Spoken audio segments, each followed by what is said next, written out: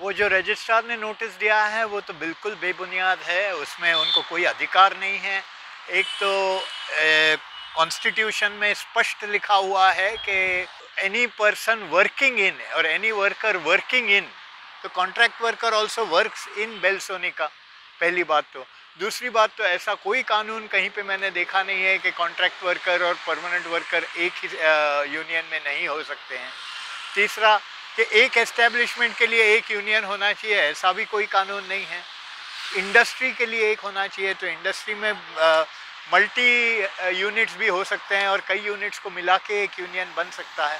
वैसे देखा जाए तो बहुत पुराना 94 96 का या 94 का केस है गुजरात स्टेट इलेक्ट्रिसिटी बोर्ड वहाँ पे स्पष्ट कहा है कि सिर्फ़ कॉन्ट्रैक्ट वर्कर्स ही नहीं, पर कॉन्ट्रैक्ट वर्कर्स को परमानेंट बनाने का जो ये है डिमांड है, वो सिर्फ़ परमानेंट वर्कर्स कर सकते हैं। तो अगर परमानेंट वर्कर्स को ही करना है ये डिमांड तो वो एक यूनियन में नहीं होंगे तो ये डिमांड कैसे करेंगे? तो ये बिल्कुल गलत है, उसको चैलेंज करना चाहिए हाईकोर्ट दूसरे भी है, हमने भी यूनियंस बनाए हैं, हमने हिंदुस्तान लीवर के यूनियन में कॉन्ट्रैक्ट वर्कर्स को भी लिया था, कई दूसरे यूनियंस में कॉन्ट्रैक्ट वर्कर्स को भी लिया है। तो हम ये करते हैं। जैसे एचयूएल का आप उदाहरण दे रहे थे कि एचयूएल में दोनों वर्कर हैं हाँ कॉन्ट्रैक्ट वर्कर और परमानेंट वर्कर एक ही यूनियन में है कई जगहों पे। एचयूएल के कई फैक्ट्रियों में ऐसे है दूसरे फैक्ट्रियों में भी ऐसे है।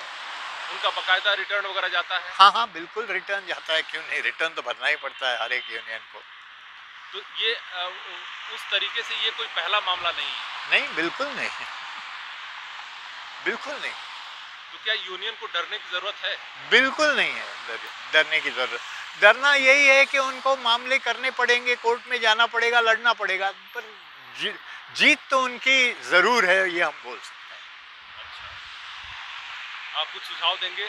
मैंने कहा मैंने कहा है उनको कि एक रेट फ़ाइल करना चाहिए ये चैलेंज करना चाहिए ये बिल्कुल बेबुनियाद है और ये एक तरीके से बुलिंग है। तो ये नहीं होना चाहिए और आ, मुझे यकीन है कि ये ऐसे रजिस्ट्रार पे स्ट्रिक्चर्स पास किए।